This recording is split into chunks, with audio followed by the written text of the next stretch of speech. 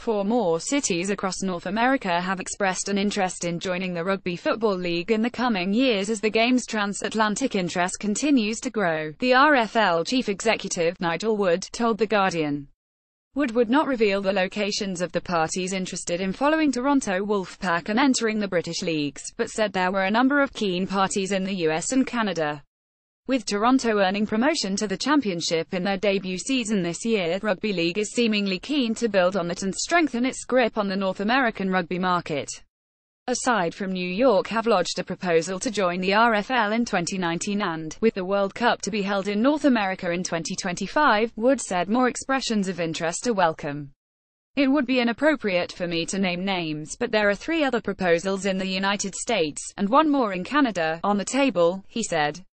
We've got to make sure it works for British Rugby League as well as World Rugby League, but there's nothing happening now that would dissuade you from having a look at some other opportunities. Another indicator of the RFL's intention to move into the North American market is a proposed test between England and New Zealand in Denver next June. That game, however, faces resistance from Australia's National Rugby League, with some of its clubs concerned about the logistics behind releasing their players to play a one-off test in the US.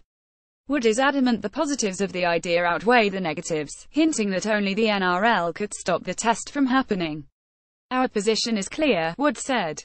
The RFL and England are very supportive of that game going ahead, without a doubt. The players have been unanimous in their support for it too and it's beholden upon the international community to keep the momentum of the World Cup going. Events like that are a logical step. We'd love it to happen, and while we recognize there are challenges in terms of player travel and making sure they're right to play in the next round of domestic competition, we think it can reach a positive conclusion. It's a terrific initiative, and the fact our players are behind it proves the point. When asked if he felt it would happen, he said that's the hope, but it's not nailed on at the moment. Who will coach England in that game also remains in some doubt.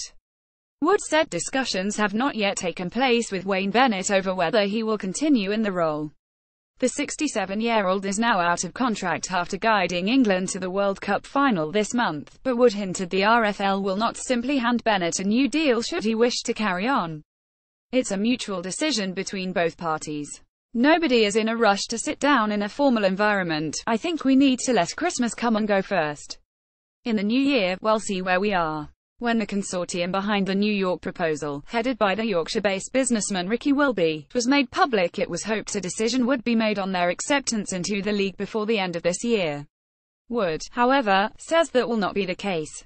I think there's a bit of work to be done in the first quarter of 2018. Subject to that, there's then some due diligence and investigating to be done. Well look at it then report to the RFL board in March, and then based upon that will decide whether it's credible enough to present to the clubs after that.